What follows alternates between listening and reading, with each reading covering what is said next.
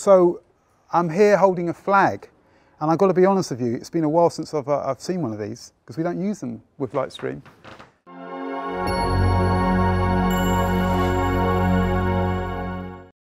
So what I'm going to do is I'm going to use this flag to shade off different, uh, the different lights individually so you can see what they're doing. So this is the number, this is number 50 by 50 reflector there, uh, DLED7 with a uh, imager, image intensifier going into, into number one.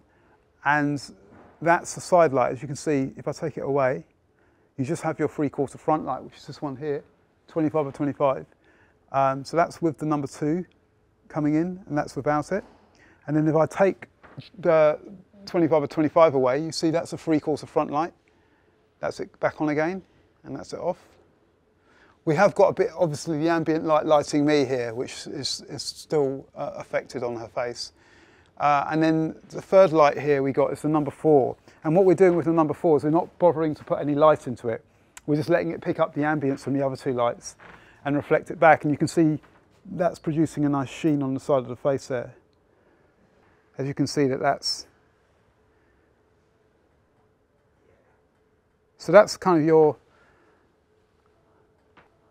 I guess it's three point lighting, but it's not using the traditional three points of light because there's no fill light. Well, there is, it's kind of the ambience.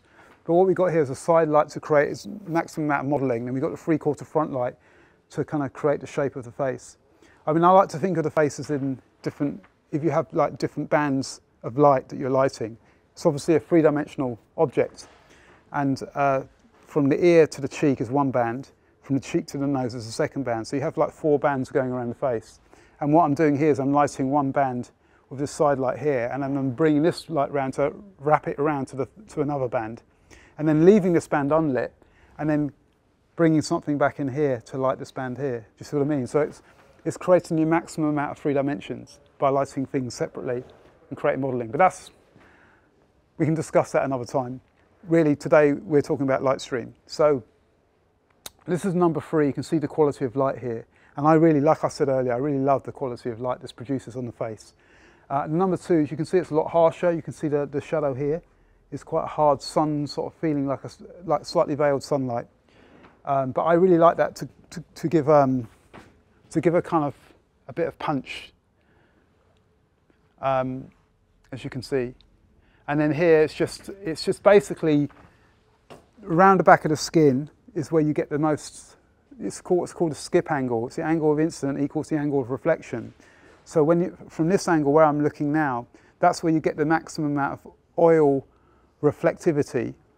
Uh, the oil in the skin, the oil in the surface of the skin, you get the maximum amount of reflectivity at this angle. So what you're really doing for this light here is you're, you're basically reflecting something into the skin rather than lighting it.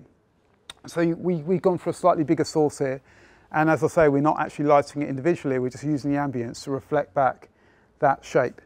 So that's our, that's our model, that's our sort of um, our portrait lighting broken down. And you can see that, you know, like I said, 50 by 50, 50 by 50, 25 by 25, and the different grades, number, number uh, three, number two, and number four. And then if we go over to the background, this is one of my favorite lights. It's a 400 watt light. I use this quite a lot. Um, when a, when a DLED7, when we need to get one stage brighter than that, then this is the stage I go to, the 400D, with a parallel beam intensifier. And you can see what it's doing on, on our model here. If I, just, if I just pan it through the reflector, you can see um, the intensity of it. So I often use these through windows as sunspots, um, which um, it's amazing, amazing that you can do that because, you know, traditionally, I would have used an 18,000 watt light far away on a really big stand or sometimes a cherry picker through a window. Now what I'm doing is I'm using these little reflectors close up because remember the inverse square law is not a problem. So I can use these right next to the window, uh, put my 400D light into it, uh, power it domestically, and I have a, I have a convincing shaft of light or sunspot of light um, to work with. As you can see, I'll, I'll just pan the light through the reflector so you can see what it does.